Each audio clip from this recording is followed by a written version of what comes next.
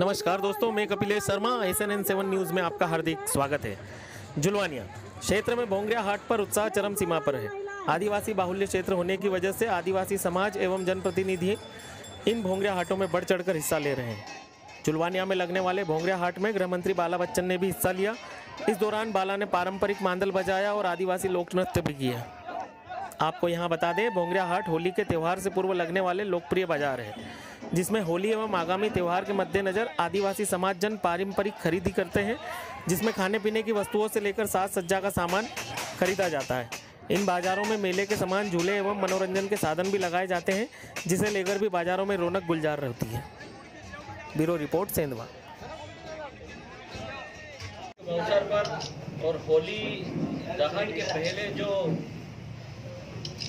भगोरिया पर्व होता है, लगभग एक सप्ताह तक बढ़ने वाले हाट और बाजारों में जो भगोरिया का जो महत्व है और भगोरिया जो पर्व है, उस पर्व के उपलक्ष्य में आज जुलवानिया, सोमवार के दिन जुलवानिया का अंजड़, निवाली इन शहरों में भगोरिया होता है। तो आज सोमवार के दिन जुलवानिया का पर्व है जुलवानिया का, भगोरिया का पर्व है और उसमें सैकड़ों की संख्या में हमारे जो ग्रामीण जन हैं भगोरिया पर्व को जो मना रहे हैं तो सर्वप्रथम तो मैं होली की और भगोरिया की सभी क्षेत्रवासियों को, प्रदेशवासियों को मैं बधाई और शुभकामना देता हूँ।